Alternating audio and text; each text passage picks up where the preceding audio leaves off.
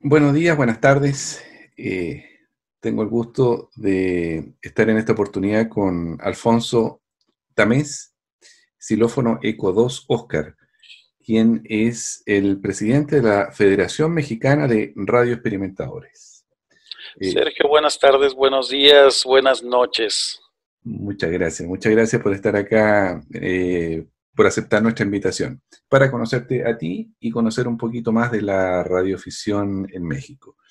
Eh, antes que nada, Alfonso, cuéntanos un poquito acerca de ti, mm, a qué te dedicas normalmente y cuéntanos cómo llegaste a la radioafición como hobby. Claro que sí, pues antes que nada me permito presentarme. Mi nombre es Alfonso Tamés, XC2 Oscar, Extra 2 Oscar. Eh, quiero agradecer a Sergio por esta invitación. La verdad me siento muy halagado que, me hayas hecho la, invitación, Sergio, nuevamente. Gracias. Y mi vida profesional, también me dedico a las comunicaciones. También estoy metido en el área de comunicaciones, este, enlaces de datos, internet, eh, voz y video. Pues ya sabes, ¿no? Todo lo que tiene, lo que representa la, la transmisión de información digital vía radio, vía fibra óptica, entonces, pues tanto en la radioficción como en la parte profesional, pues estoy metido en, la, en las radiocomunicaciones. Perfecto. Eh, cuéntanos ahora acerca de cómo fue tu acercamiento a la radioafición. Eh, mira, Sergio, yo vengo de familia de radioaficionados. Eh, papá radioaficionado, mamá radioaficionada. Mi papá, alrededor de 60 años de ser radioaficionado. Mi mamá también, mi mamá eh, antes de, que se casara con mi papá, pues era radioaficionada. Eh, se casa, continúa siendo radioaficionada y sin embargo hay algo que, siempre me ha dicho, ¿no? Yo soy el hijo mayor. Y me dice, por tu culpa dejé, dejé la radio, por tu culpa dejé de ser radioaficionada. Dice, porque cuando tú naciste o te atendí a ti o atendí a la radio, ¿no? Entonces, eh, pues ya se nos complicó el asunto, mi mamá dejó un poco la radio Dice, pero siempre me dice, por tu culpa, porque naciste, fue la que, dejé la radio, ¿no? Pero siempre me ha apoyado, siempre ha estado pegada conmigo. La verdad es que es algo que yo les tengo que agradecer a, mis padres, que en todas mis este, travesías en la radio, siempre han estado ahí atrás de mí. Perfecto. Es decir, siempre el tema de radio estuvo en tu casa presente, digamos. Así es, así es. Eh, perfecto, perfecto. Ahora, dentro de las, todas las esferas que tiene la radioafición como hobby, ¿cuál es la que te atrae más o la que te... Mm, ¿Hay alguna en particular que te motive, que te incentive más o, eres más bien de, múltiples intereses? ¿Cómo te defines? Fíjate, Sergio, me he pasado por, por muchas facetas ¿no? dentro de la radioafición. Eh, he experimentado satélites, eh, bandas bajas, bandas altas, concursos, y, de todo lo que he experimentado, yo creo que la, el rebote lunar me gusta mucho. Me gusta mucho el, rebotar señales en la luna y, que alguien del otro lado del mundo que, que, estemos viendo la luna en común este, pueda escucharnos. Me gusta mucho la banda de 160 metros me gusta el diseño de antenas, me gusta fabricar antenas, el reto que, como decimos los que nos gustan las antenas, ¿no? De 10 antenas que haces, este, 9 se van a la basura, ¿no? Pero esa, esa una que te queda trabajando te llena de, gusto. Eh, los modos digitales también me gusta, es que últimamente los, el FT4, FT8, todos esos han puesto muy de moda. Y, y, me gustan también, ¿no? Yo creo, yo creo que todo, todas las disciplinas dentro de la redefinición tienes una etapa, tienes una etapa eh, a lo que estés viviendo, a tu momento de vida. Este, eh, yo creo que hay ciertas cosas que se van acomodando a lo largo de, la carrera, vamos a llamarle carrera de la radioafición. Pero si me preguntas qué es de las cosas que más me gustan, definitivamente, ¿no? El, el rebote lunar, 160, DX, me gusta mucho el DX en general. Entonces, pues básicamente es eso. Excelente, excelente. Eh, Alfonso, cuéntanos ahora un poquito, por favor, acerca de eh, cómo se organiza la radioficción en México. Están ustedes, que son la Federación Mexicana de Radio Experimentadores. Eh, ¿Existen más instituciones? ¿Hay dependencias entre ellos? ¿Cómo? Cuéntanos a los que no... Sí, La, Federación Mexicana de Radioexperimentadores tiene, este año cumple 88 años. La, la, federación en sí, como cualquier institución, está conformada con un consejo directivo, tiene su presidente, tiene su secretario, vicepresidente, ya sabes, una institución normal. Ahora bien, ¿cómo, cómo trabaja la, la federación? La federación no es por sí sola, la federación realmente no pudiera hacer nada si no es con el apoyo de los estados. En los estados tiene asociaciones estatales que, que a su vez los radioaficionados, al ser parte de la federación o a ser parte de la asociación, está siendo parte de un todo, ¿no? De una federación. las asociaciones estatales que hacen, pues agrupar a los radioaficionados a nivel estado es, el primer grupo, como quien dice, de red aficionados, y la federación agrupa a, todos, a todos en general, ¿no? No, la federación eh, no es la única eh, aquí en, México. Eh, hay otras instituciones también que agrupan radioaficionados, que de la misma manera tenemos el, fin común. De apoyar y fomentar la radioafición. Yo creo que si alguna asociación de radioaficionados no tiene como fin común el apoyar y fomentar la radiodifusión, pues yo creo que es, totalmente inútil, ¿no? Hay tiempos, yo, yo, yo, lo, yo lo veo de esta manera, ¿no? Antes tal vez la gente se peleaba por, por ser radioaficionado y ya tenemos, ¿qué te gusta? 20, años tal vez, del nacimiento de Internet para acá, 20, 30 años, donde poco a poco la, la empezó a bajar y esto fue a nivel mundial, ¿no? Sobre todo los países de, de, América, tal vez, que nos pegó un poquito más, este, empezó a bajar el número de aficionados. Actualmente hay países que van de subida, otros que se mantienen igual, otros que van de bajada, y, bueno, actualmente lo, tocaremos más adelante, ¿no? Pero bueno, hace 30 años empezó a bajar esto un poco, entonces se convirtió el, el, apoyo a la radioafición, también se incluyó el fomentar la radioafición, o sea, empezar a traer, a, jalar a, nuevos radioaficionados. Ahorita, ahorita es increíble, ¿no? Que es una lucha por, por atraer, por formar nuevos radioaficionados. Y bueno, para eso está la federación y las demás agrupaciones, creo que es uno de los principales este, motivos de trabajo de cualquier agrupación de radioaficionados. Ustedes están eh, a nivel, eh, digamos, eh, ¿cómo están como federación? ¿Están en Ciudad de México, la capital?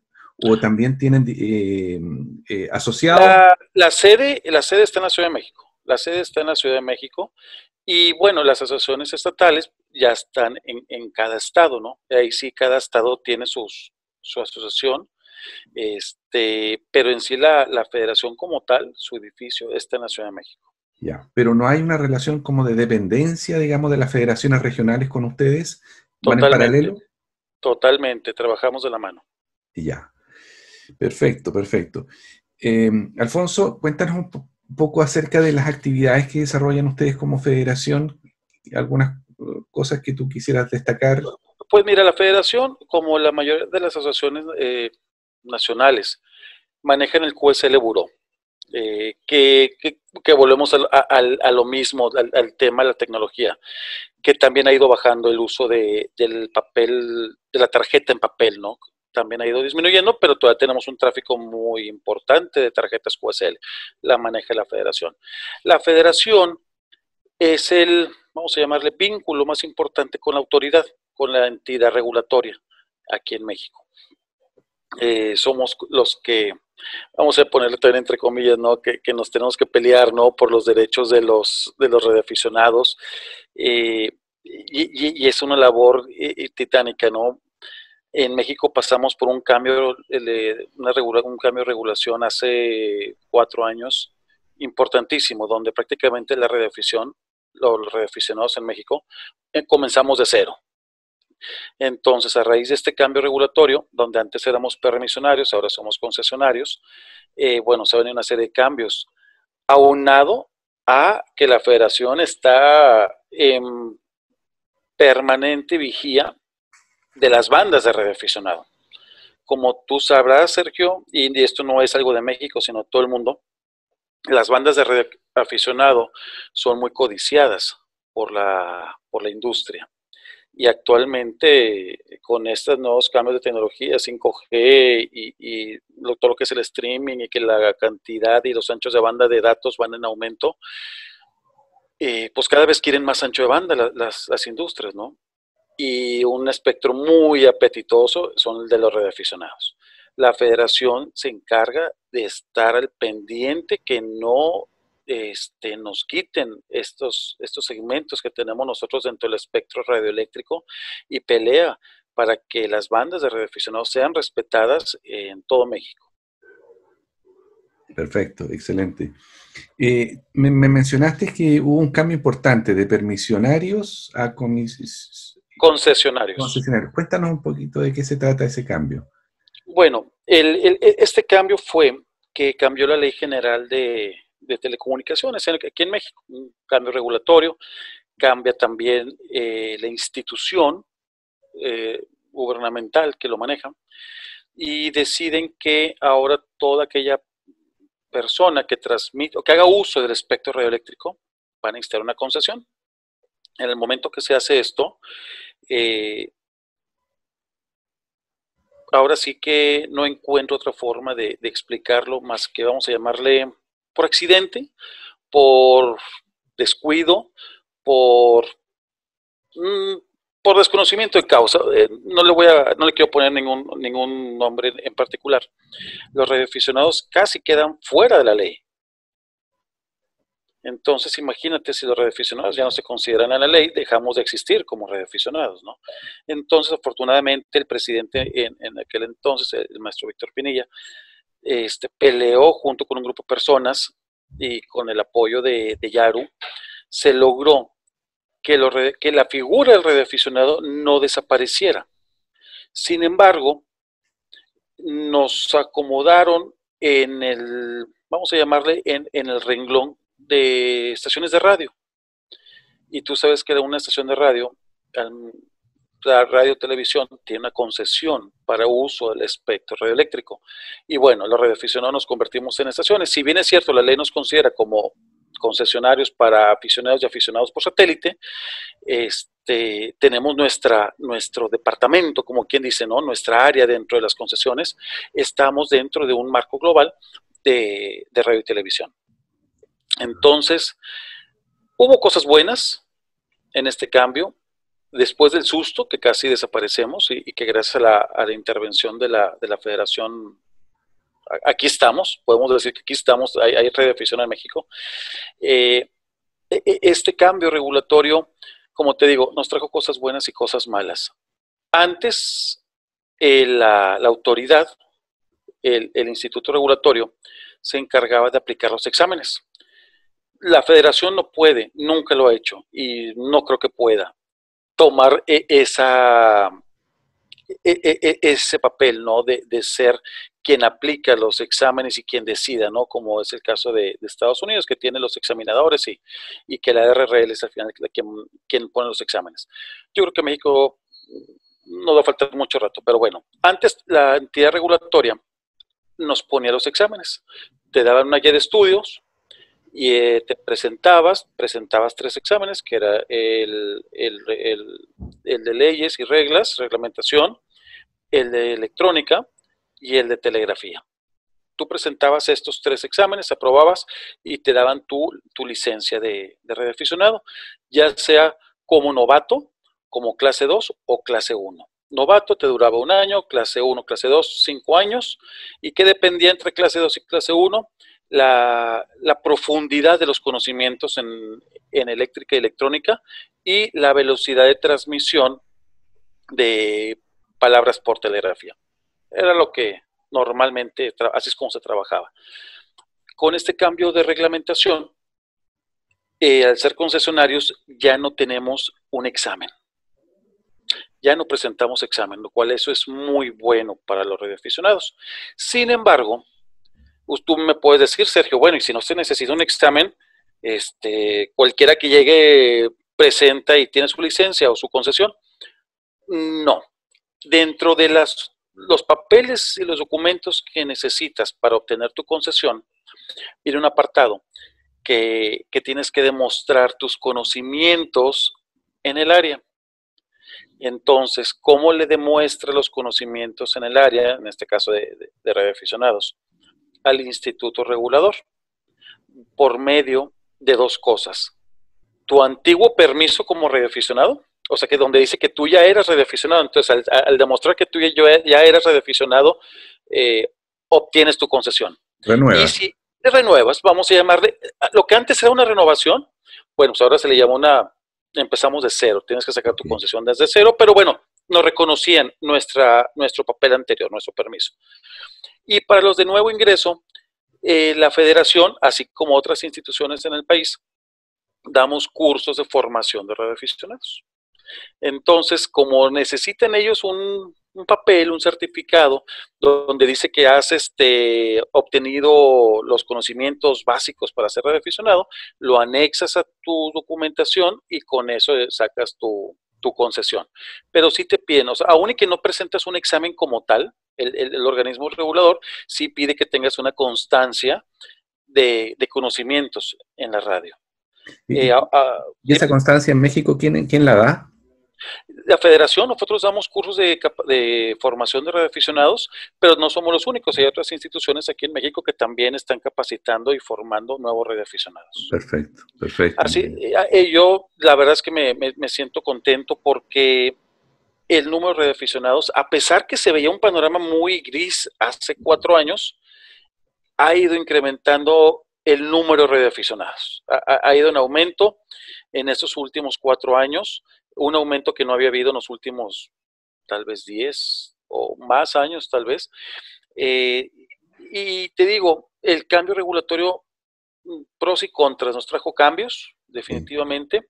Sin embargo, uno de los pros fue la, la, forma más fácil de poder ser radioaficionado. En el momento que no te ponen un examen como tal, este, es más fácil y que la telegrafía desapareció. Ya telegrafía no tiene, no, no entra en la jugada. ¿Y, eso no se ha traducido en, digamos, mm, en, en posibles mm, que haya aumentado el mal uso de la frecuencia de las bandas? Mira, yo creo que volvemos un poquito. Definitivamente la telegrafía tú y yo sabemos que era un filtro natural. De el que realmente quería ser radioaficionado, la telegrafía todo nos ha costado. Creo yo que a unos más y otros menos nos cuesta. Entonces, en mi tiempo, pues yo tuve que estudiar telegrafía. Y, que ahorita que, dices tú, bueno, han pasado 20 años que no la he usado, a lo mejor no soy el, experto, pero puedes con un poco de, paciencia retomarlo. Lo que bien se aprende no se olvida. Ahora que no se pide telegrafía, es cierto, puedes aumentar la cantidad de radioaficionados. Sin embargo, no por eso vas a aumentar la, calidad del radioaficionado o el radioaficionado de, de, como decimos en México, no de hueso colorado, el que realmente quiere ser radioaficionado. Pero yo creo que como todo, Sergio, si una persona entra con, vamos a llamarle con poco interés o anda experimentando a ver, a ver dónde se mete, yo creo que al entrar a la radioafición e, es muy claro, ¿no? O te enamoras o te vas. Creo yo que es algo muy, muy claro en esto, ¿no? Dudo que alguien saque su, su permiso, su concesión de radioaficionado, nada más para tenerla colgada en la pared y diga, ¿sabes qué? Pues yo nomás quiero ser radioaficionado, ya lo tengo. Eh, e, este cambio es nuevo, tiene cuatro años. Yo creo que el tiempo lo dirá. Yo, yo siempre he dicho, y, lo dije en el, en el boletín pasado que tiene la federación todos los domingos, ¿qué es la radioafición? Y yo te lo pregunto a ti, Sergio, ¿qué es la radioafición en Chile? ¿Qué es? La institución, pues no, no es la institución, somos nosotros mismos. Entonces, yo lo pongo en México, ¿quién es la radioafición o qué es la radioafición en México? Pues somos nosotros.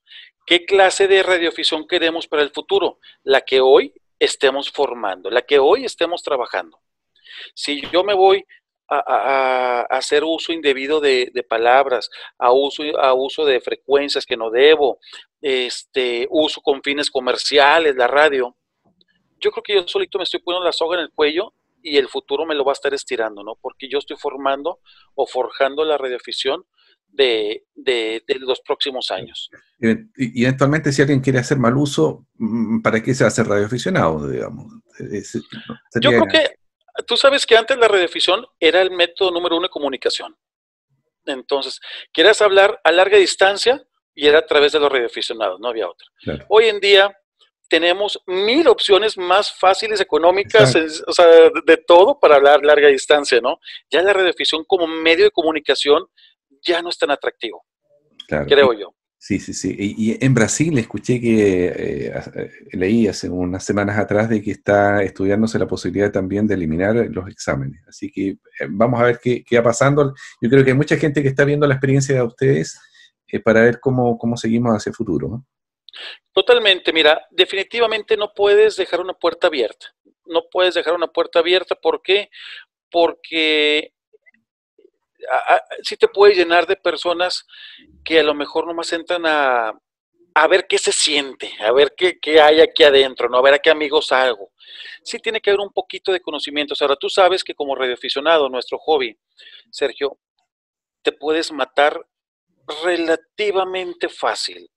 ¿Por qué lo voy a poner relativamente fácil? Si te subes a tu torre sin el equipo de seguridad y te caes, tienes un serio problema. Si compras un amplificador lineal que tiene altos voltajes y no conoces electricidad, te puedes matar también. Si agarras la, salida de RF del radio, no te matas, pero mejor te vas a poner este, una, quemada. O puedes hacer un corto en tu casa. Sí necesitamos unos conocimientos básicos, definitivamente. Y por eso yo yo, yo Alfonso Tamés, ahora sí, yo, yo no, no federación, sino yo Alfonso Tamés, este, estoy a favor de que exista un pequeño filtro, una capacitación, una preparación para ser radioaficionado. Que no agarres el micrófono diciendo, hola, hola, ¿quién me escucha? O, o, aquí, soy, aquí soy yo y, a ver quién me habla, ¿no? Sino que tú sabes que hay ciertos protocolos, ciertos códigos entre los radioaficionados que eso se tienen que mantener para poder mantener una sana este, coexistencia entre los radioaficionados a nivel mundial. El vecino del norte, Estados Unidos, con el gran desarrollo que tiene la radioafición ahí, em, cuéntanos esa experiencia a los que estamos tan lejos de Estados Unidos. Em, ¿Favorece, perjudica? Eh, ¿Cómo es esa, esa, cercanía, digamos, con, el, con la ARRL que la tienen ahí al lado ustedes y que es tan fácil comunicarse con ellos? Eh, la verdad es que es muy muy bueno tenerlos por un lado. Tenemos una buena relación, definitivamente. entre países hay fronteras, pero entre la radio no existen las fronteras, ¿no? Ah, aquí es un constante comunicación con Estados Unidos. Yo vivo en la ciudad de Monterrey, yo estoy al norte todavía de México. Entonces a mí me queda la frontera a, a 200 kilómetros por lo tanto, no solamente HF, sino también los repetidores de VHF y UHF, hay una relación directa para evitar las, las interferencias, ¿no? la parte de, Estados Unidos, ahorita la federación está trabajando eh, en conjunto con, con, dos empresas estadounidenses en que las guías de estudio para el examen de formación, tanto de Canadá y Estados Unidos, también van a incluir a México. Entonces, desde la misma aplicación, tú decides, este, como ya está hecho en Estados Unidos y tiene muchos años funcionando eso de, las aplicaciones, bueno, pues México tal vez vamos un poco atrasados, pero pues ya estamos entrando a la e, época de las aplicaciones y ya durante poco vas a poder elegir esto, prepararte para el examen canadiense, prepararte para el examen este, eh, americano y para el mexicano. O sea que eventualmente podría, pudieras obtener simultáneamente ese, la licencia de los Estados Unidos y podrías operar en Estados Unidos eventualmente.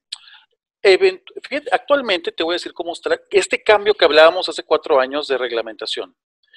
Pasa lo siguiente, yo con mi licencia mexicana, yo sí puedo transmitir en Estados Unidos. Es recíproca. Estando en Estados Unidos. Sí, yo, yo llego a Estados Unidos y yo transmito como XC2. Ah. Claro, le, pongo obviamente la, el, sufijo de, la zona donde me encuentro Estados Unidos, pero para mí siempre ha sido normal XC2, Oscar, Stroke, Whisky 5, por ejemplo, ¿no? Si estoy en la zona, en la zona 5 de Estados Unidos. Sin embargo, erróneamente, malamente, y, y ahora sí que todos los adjetivos malos que le puedas poner, no, los extranjeros, no solo Estados Unidos, los extranjeros no pueden operar en México actualmente después de este cambio de, reglamentación. Ah, Antes sí se podía, ahorita está prohibido por la ley que venga alguien que no es mexicano a transmitir en ah, México. en la mayoría de los países tengo entendido que está prohibido, ¿ah? que tú tienes que tener un permiso especial, una autorización para... Pero en México ni siquiera tenemos esa opción, tristemente. Ah. me, apena decirlo, me apena porque tú sabes que vamos a muchos países ah. y, nos reciben con las puertas abiertas. Habrá unos que llegues y transmites sin permiso y habrá otros que llegues y transmites un permiso temporal o, algo sencillo, ¿no? Lo, más normal es de que muestres la licencia de tu país y si hay convenio, pues te dan un permiso por de corta duración. Tristemente aquí no podemos, no tenemos esa opción ahorita. Por ejemplo, activar una, una isla, ir a extranjeros a activar un parque, ok. Eh, seguimos peleando Seguimos peleando eso como, como federación. Yo creo, yo me esperaba un poco al inicio de esto porque yo decía, ¿cómo puede ser tan sorda la, la, institución regulatoria, no? El organismo regulatorio, ¿por qué no nos escucha?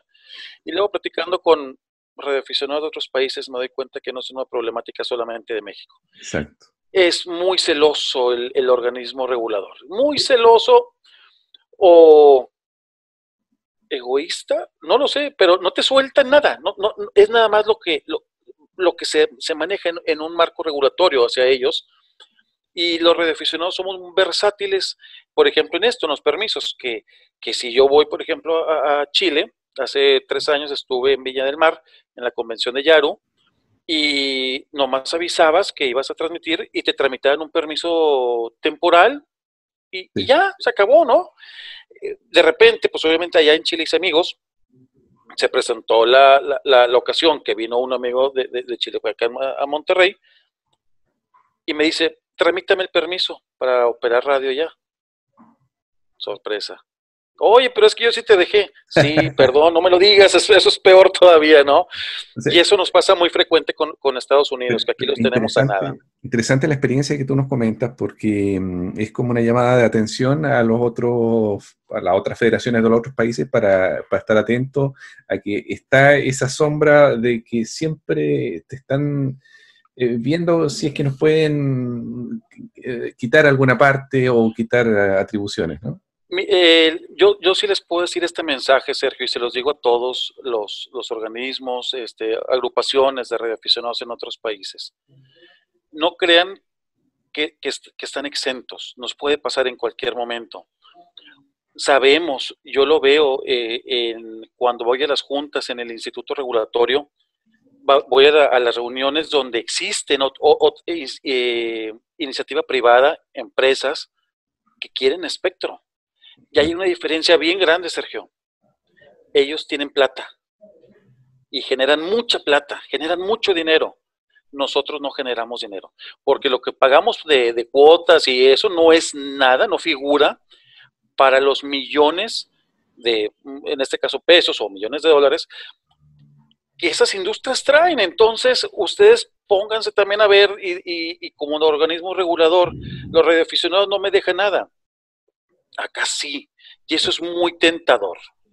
Entonces, yo les puedo decir, siempre estén eh, al pendiente de los cambios regulatorios, estén al pendiente de, las reuniones eh, donde existan esos, esas empresas, acérquense, tengan una buena, una buena relación con el organismo regulatorio, porque la verdad, esto en, una, e, e, en un día para otro te puede cambiar, ¿no?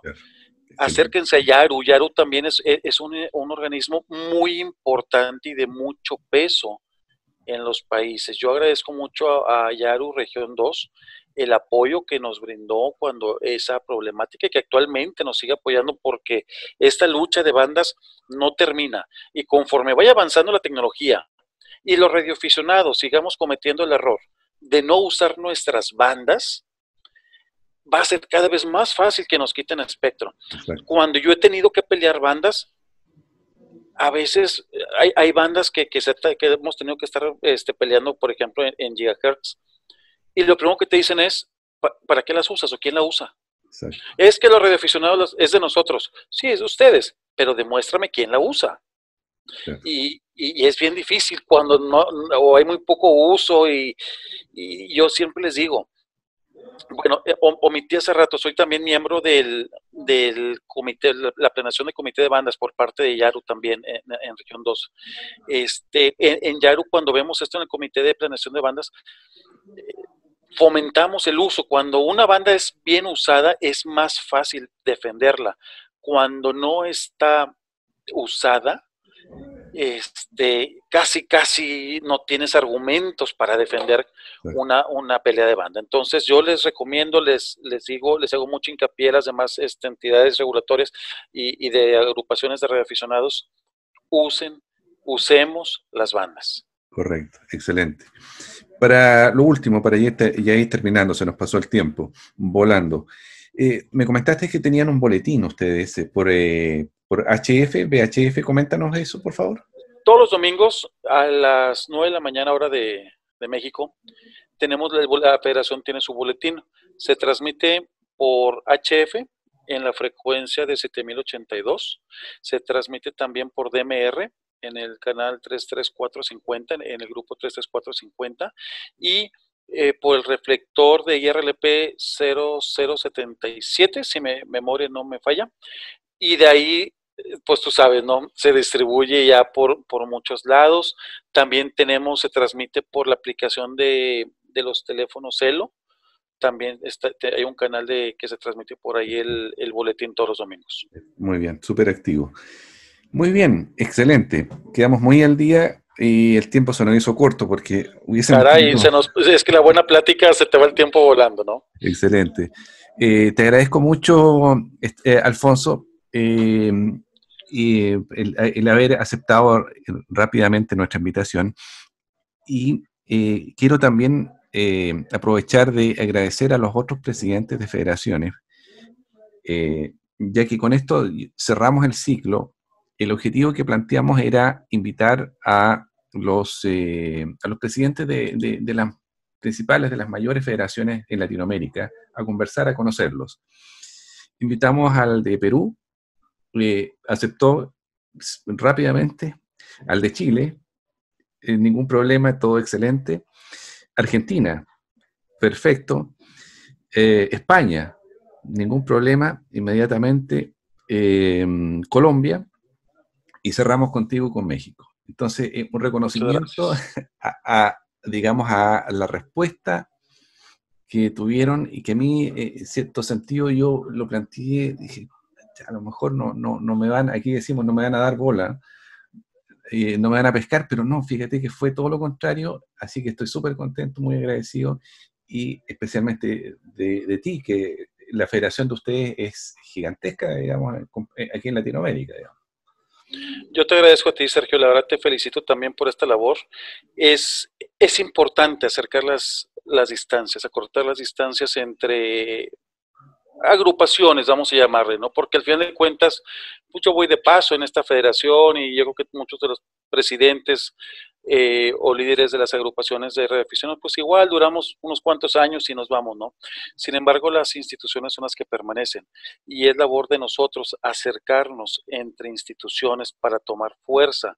Si queremos, el, no se ve muy prometedor el futuro en cuanto a las luchas como en la redefinición versus la industria. Necesitamos estar muy agrupados. Ya no es, el, ya no es un problema del país como lo era hace 20, 30 años, ¿no?